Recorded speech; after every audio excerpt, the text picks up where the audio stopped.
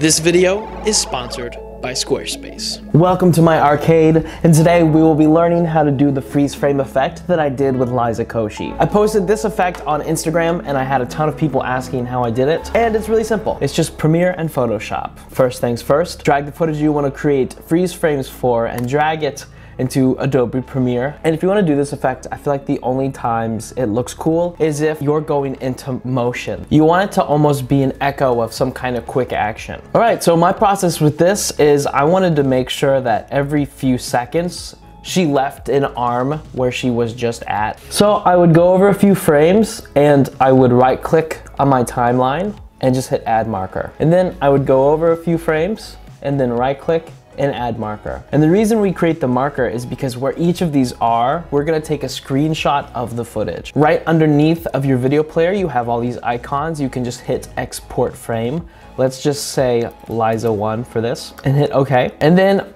go over to your next marker, export frame, Liza 2. You can change the format in which you want these pictures. I just keep it at JPEG. And if you hit browse, you can pick where all these are landing and I just have them going to my downloads hit okay. And so now we have three screenshot of Liza at three different points. Now, if we open up Photoshop, so find the screenshots that you took and then just drag them into Photoshop. The quickest way to just get rid of all the background is if you go up here to the quick selection tool and just change the size up a little bit, maybe like 15 this tool basically sticks to like colored pixels, so it can decipher where she is and whatnot. And if you accidentally select stuff that's not what you want, you can actually pull down Alt and then drag, and it'll get rid of stuff that you've selected.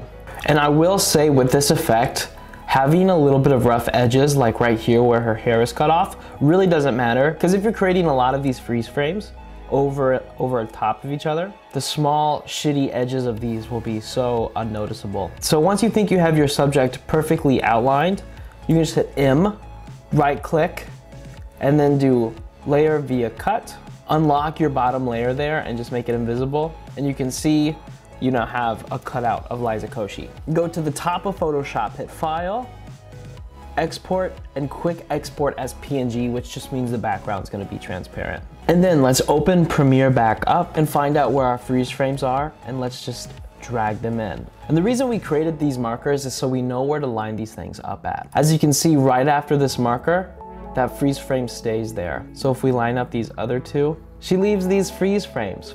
Or you could even use this the opposite way. Instead of putting all of the freeze frames on the right side of the markers, you could put them on the left side so she's falling into the freeze frames. And now if we play that back, she falls into him.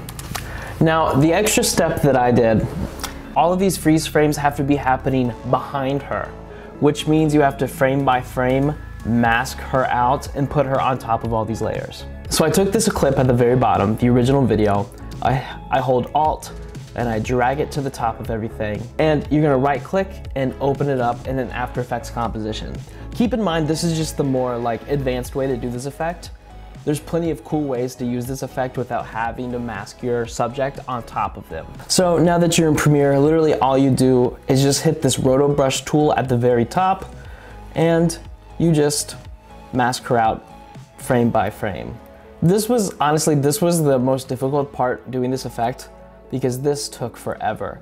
Because you have to get so specific to even like the tops of her fingers if you want it to perfectly cover the freeze frames. I'm just gonna do this super quick just to give you a rough idea of like what this looks like. And so now I've just transferred back into Premiere with our uh, After Effects composition on top of everything.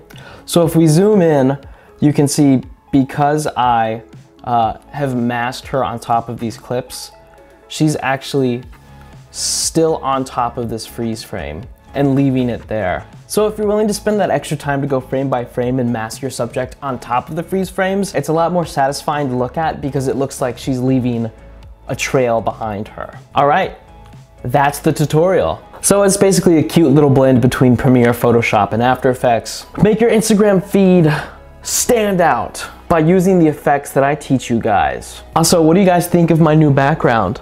I created an entire arcade and it's also the perfect editing tutorial background. And if you guys haven't seen that arcade video yet, it's incredible, and I think it's I think it's been slept on. So thank you guys for watching. I hope to see some of you using this effect. And of course, I gotta thank my sponsors, Squarespace. From online stores to marketing tools and analytics, Squarespace is an all-in-one platform and it appeals to many career people. Say you want to be a photographer or a filmmaker. They've got beautiful online portfolios where you can aesthetically showcase your work to the world. And so basically if you're looking for a place to put all your work, Squarespace is a great way to do that.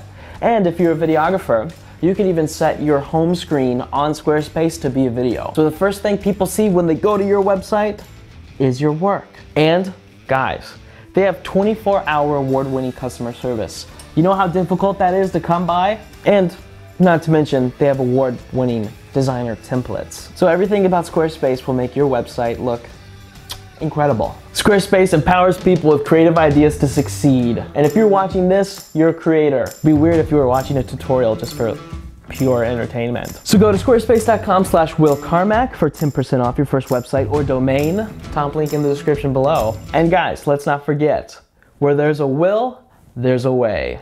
My name is Will, and have a nice day.